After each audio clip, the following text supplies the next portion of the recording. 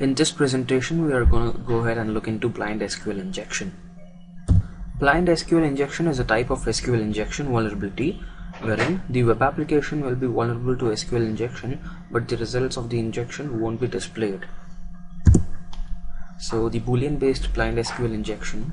So by sending true or false queries to the server, an attacker is able to compromise the entire database. So by comparing the response to the true query with the response to the false query, an attacker can do blind SQL injection. So here we have a page that will print out the details about a user of a given ID. So when the ID is equal to 1, it prints the detail of admin. When the ID is equal to 2, it prints the details of the user named David. So what happens if we enter apostrophe character in the ID value? So here the result of the injection is not visible but it displays a custom error message created by developer which says oops no data found. The SQL error message suppressed in the application level. So in the database server perspective nothing actually changes. However the error message produced from the database server will be suppressed in the application level that is in the PHP code as we could see in the image shown below the at symbol is to suppress the error message. So let's try to test this uh, blind SQL injection. So the flowchart for this would probably go like this. So we're going to start then in the URL that is the example.com slash info where the ID parameter value is equals to 33 let's change the ID value to 33 and 1 equals 1 so if the page loads normally then change the ID value to 32 and 1 equals 2 and if it doesn't change try other alternative techniques. And uh, on the other side if it changes if the page loads differently then it might be vulnerable to blind SQL injection. If it doesn't load differently it might not be vulnerable.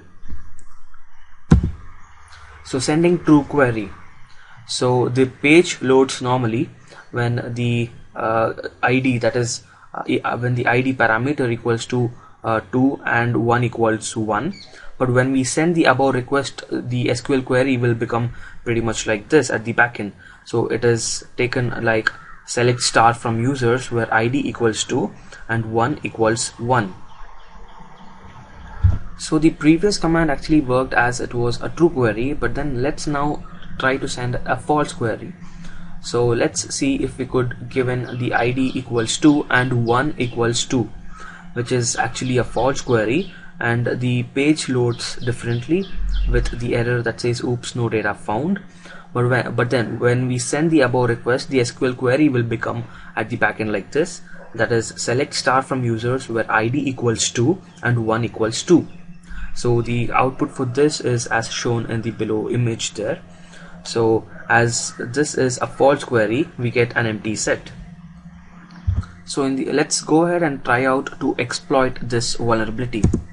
So the flowchart for this would probably go uh, go like this. For determining the database server version so we're going to go ahead and start. And the url would be example.com slash info where the id parameter value would be 33 and uh, let's change the id value to 33 and substring of version uh, comma 1 comma 1 equals 4 and if the page loads normally then the database version is 4.x or I mean the x value could be anything. And uh, if it's no then go ahead and change the id value to 33 and substring of version comma 1 comma 1 equals 5 so if the page loads normally uh, yes uh, the database version would probably be of the 5.x version. So determining the database server version. So let's uh, so checking whether the database server version is 4.x so we get an error uh, a custom error message wherein it says oops no data found which means the result is false. And let's so we check for if the uh, whether the database server version is 5.x and the result obtained is true. So as it doesn't display any sort of error messages.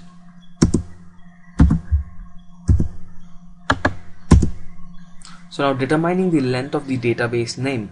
So the flowchart for this would go like this. So we're going to start and with the URL that is the example.com slash info where the ID parameter is again 33 let's try to put in the uh, value uh, of uh, x equals 1 so change the ID value to 33 and character length of database equals x and uh, if you are getting unknown column error message it means the length of the database name is x.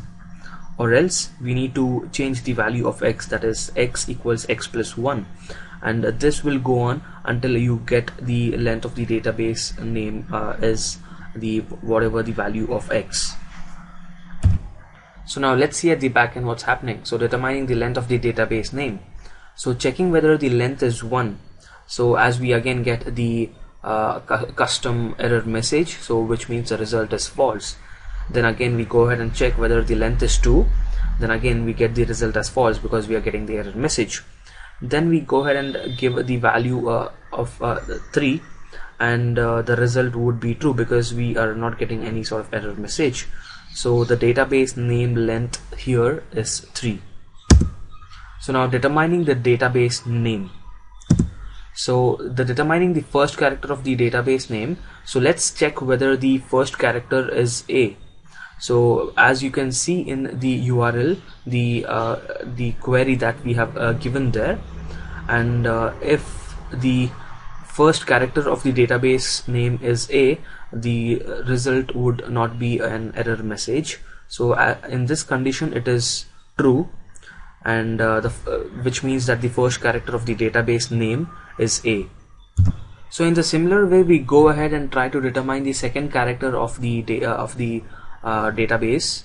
So if we uh, let's go ahead and check the second character if it is a.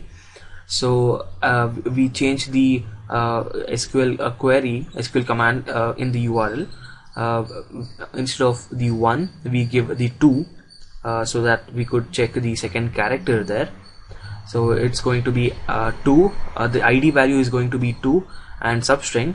Database comma 2 comma 1 equals a. And uh, as we got an error message which means that the result uh, which means that it is false. And let's go ahead and check if the second character is b.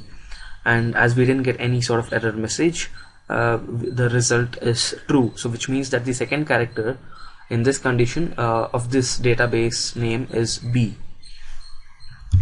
So again in the similar way let's try to determine the third character. So uh, checking whether uh, the third character is A in the similar way we try to change the value from 2 to 3 in the uh, uh, command that we had given there earlier. So the result uh, for A is false. Now let's go ahead and check if the uh, value for the third character is b and again we get the error. So which means that the result is false. And again we try to put in the uh, character c. And if we uh, we check whether it's if the third character is c in the database name and the result we get is true as there is no error message there. So which means that the third character of the database name is c.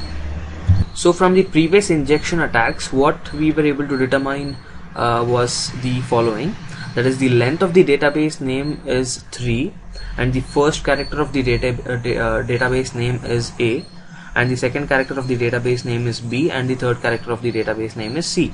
So hence the database name is actually C.